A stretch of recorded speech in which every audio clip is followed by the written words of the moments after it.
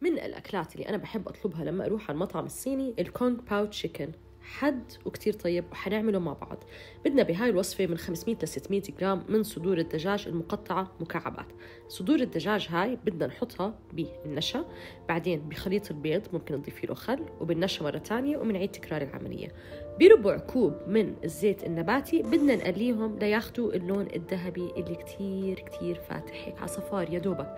هلا الفكرة بالنشا إنه النشا ما بيشرب زيت ورح يعطينا crust كتير حلوة. الدجاج أكيد مش مستوي من جوا بس من برا.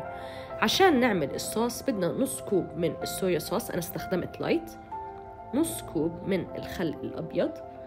نص كوب من السكر البني. نخلطهم منيح مع بعض. وبدنا نضيف عليهم سنين من الثوم المهروس. وبنخلطهم. وكمان بدنا نضيف عليهم معلقة كبيرة من السيراتش الصوص إذا بتحبوها تكون كتير حرة ضيفوا أكتر.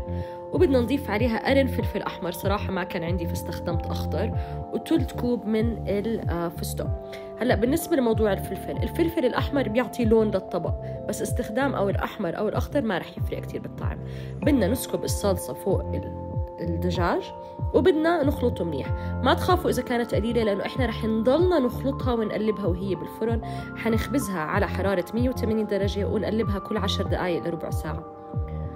وبس. شفتوا قديش سهلة وسريعة وآخر إشي أكيد بدنا نزينها بالبصل الأخضر. وممكن نقدم هاي الطبخة مع الرز أو إذا أنتم بتحبوا النودلز ممكن تقدموها مع النودلز. صحتين وألف عافية.